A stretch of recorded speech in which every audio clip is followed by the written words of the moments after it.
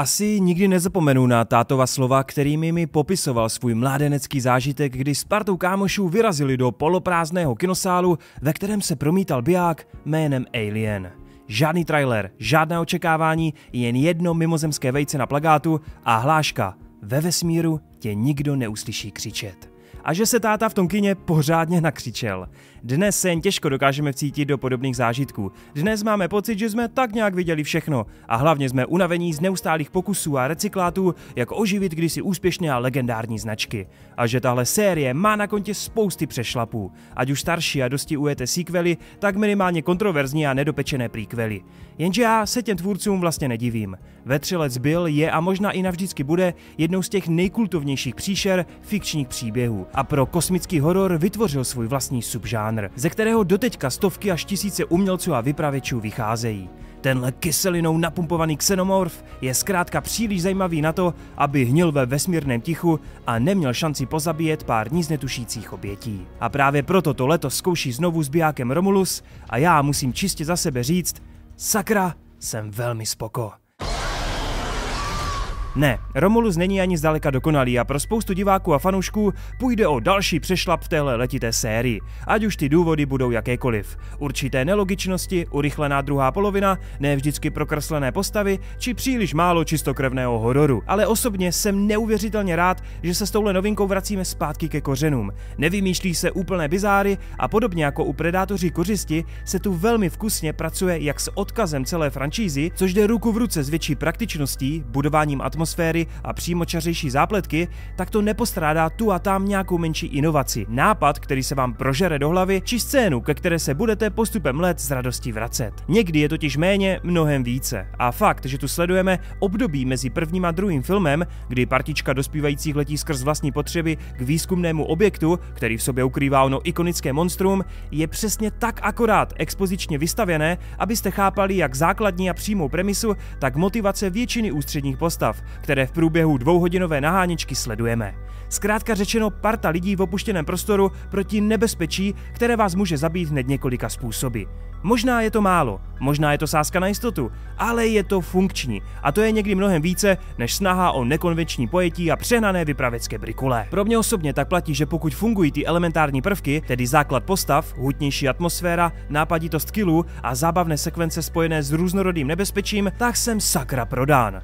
Tady to navíc sakra dobře vypadá a když říkám sakra dobře, myslím tím k***va dobře. Fakt jsem dlouho neviděl vesmírný horor s tak precizní vizuální stránkou. Interiéry lodí jsou organické, plné serpetiček, oldschoolového designu a když to tvůrci prosvítí nějakým tím blikajícím alarmem, venkovním sluncem a všeobecně si pohrávají s barevnou paletou světly a stíny, no je to pastva pro oči a jeden z nejlépe vypadajících bijáků letošního roku hned po druhé duně.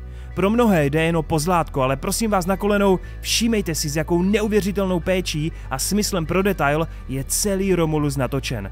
Tolik lásky do čisté kinematografie se dneska zas tak často nevidí, obzvláště u dražších projektů a určité výjevy, třeba i ty vesmírné a čistě pocitové, jsou neuvěřitelně vtahující a podmanivé. Jde o smyslnou symbiózu praktičnosti, materialismu, zručného řemesla a podporujícího CGI, které až na jeden nevkusný prvek a zbytečný fanservice funguje takřka dokonale. A tak, jak to dobře vypadá, tak to i velmi dobře zní. Všelijaké ty zvuky, ať už jde o ruchy, výstřely, prosakující kyselinu, hlasité nádechy a výdechy, kovové klapání, všelijaké bzučení, syčení, no jednoduše asi máte představu. Zvuk byl pro vetřelce vždycky základem a tady mu tvůrci dávají potřebnou péči, čímž se atmosféra šponuje na jedničku. A ano, jak už tady padlo, Romulus je takovým pojítkem mezi původními bijáky a jejich odkazem. Nicméně současně se nebojí čerpat i z těch méně oblíbených dílů, což mě osobně vlastně dost šokovalo, a přidává k tomu všemu vlastní rozšíření, které podporuje hned několika nápady. A nechci tady příliš vyzrazovat, přeci jen tohle super odhalovat až v kině, nicméně stav bez tíže s kyselinou je něco, co jsem doteďka netušil, že v téhle sérii potřebuju. A naprosto jsem to miloval. V traileru jste si pak mohli všimnout skenru, který vám ukáže vnitřek těla a výborně se tu pracuje jak se syntetickými roboty, tak s facehuggery, kteří tu dostávají více prostoru než kdykoliv jindy a mě doteďka z celé té vetřelčí evoluce děsí asi zdaleka nejvíce.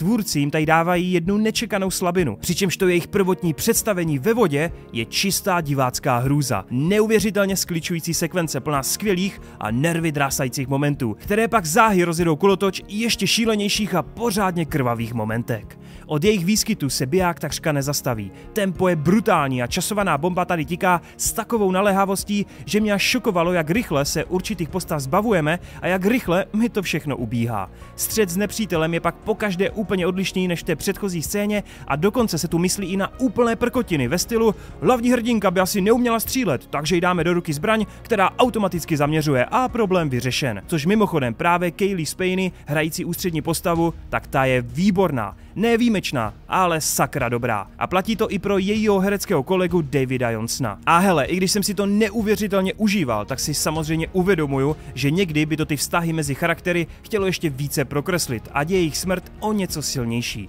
Možná je na škodu, že tempo tak chvátá a vetřelčí evoluce je tady uspíšena skrz vysvětlený upgrade. No a možná nejsem úplně šťastný z poslední 20 minutovky a směru, kterým se to vydalo. A všeobecně tady platí, že zmíněná kořist udělala pro Predátora možná ještě o lepší oživení. Ale já se v tom kině tak zatraceně bavil, že jim ty menší nedostatky prostě odpouštím. Fede Alvarez možná nenatočil unikátního či originálního vetřelce. Není to ani nejlepší vetřelec, není to nejvíc hororový vetřelec, ale vzdal celé jeho sérii obří poctu. A ten zápal pro danou látku byl tak hmatatelný a tak čistý, že mu prostě nemůžu nedržet palce tak snad se bude líbit většině a dočkáme se dalších potenciálně ještě zajímavějších nástupců. Tahle slizká potvora by si to sakra zasloužila.